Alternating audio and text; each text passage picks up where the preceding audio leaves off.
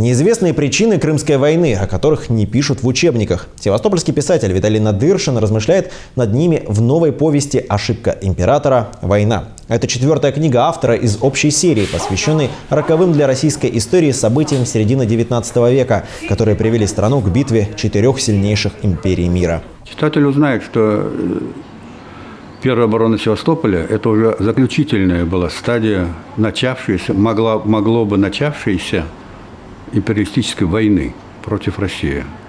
То есть масштабная была война.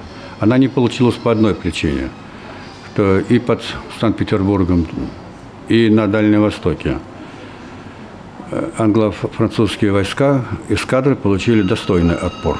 Один из первых экземпляров своей книги Виталий Надыршин передал севастопольскому депутату, герою русской весны Алексею Чалому. Памятная надпись гласит «Люди всегда идут за лидером. Пожалуйста, оставайтесь им всегда».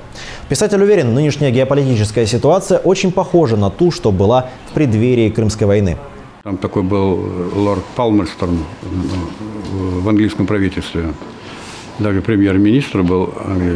Он так и говорил, что надо обязательно обманывать, или слово более грубое, врать про Россию, чтобы э, англичане и французы знали, что идут на святое дело, как он говорил. На самом деле это все было полная ложь. Презентация книги «Ошибка императора. Война» состоится в четверг, 13 декабря, в Центральной городской библиотеке имени Льва Николаевича Толстого. У гостей встречи будет возможность пообщаться с писателем и задать ему интересующие вопросы. Начало встречи в 17 часов.